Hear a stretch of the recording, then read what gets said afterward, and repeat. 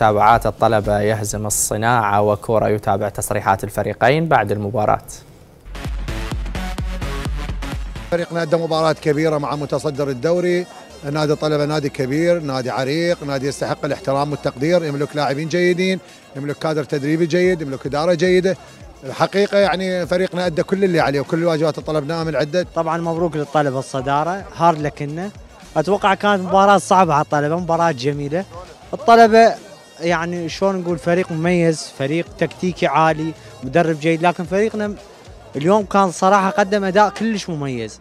الحمد لله والشكر.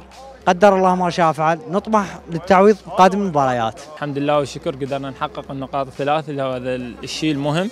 مباراة آه، يعني تكون على هيك ملاعب ما ترتقي للمستوى المطلوب.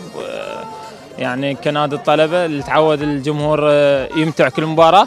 الحمد لله والشكر من قدرنا نفوز. إحنا الصدارة يعني ندخل كل مباراة نحقق النقاط الثلاث هذا الشيء المهم. يعني من باوع اللي جوانا والهاي هسه إحنا بالصدارة. وإن شاء الله كل مباراة بالنسبة لنا كنهائي.